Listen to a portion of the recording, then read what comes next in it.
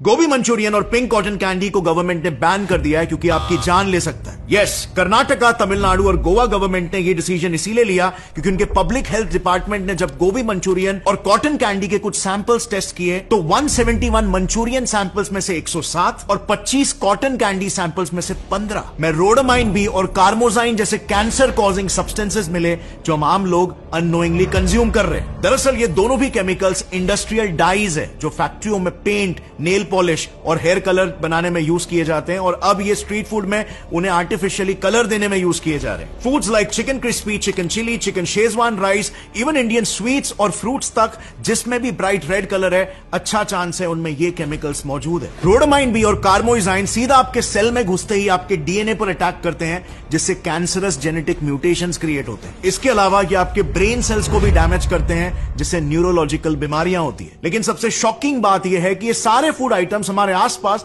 खुलेआम बिकते हैं, बिना किसी रेगुलेशन के। जस्ट बिकेस इस मुद्दे पर इतनी अवेयरनेस नहीं है। आई I मीन mean, हम कितने बार कोई फास्ट फ़ूड खाने से पहले खुद से ये पूछते हैं कि इनमें कितने केमिकल्स मिले हो सकते हैं। और इसीलिए हर हाल में जितना हो सके ये प्राइड स्ट्रीट फूड्स को अवॉइड करो और जितना हो सके घर के खाने से इसे रिप्लेस करो। हमारे हेल्थ के कॉस्ट पर प्रॉफिट बनाना आज एक आम प्रैक्टिस है जिससे बचने की रिस्पॉन्सिबिलिटी अपनी खुद की है।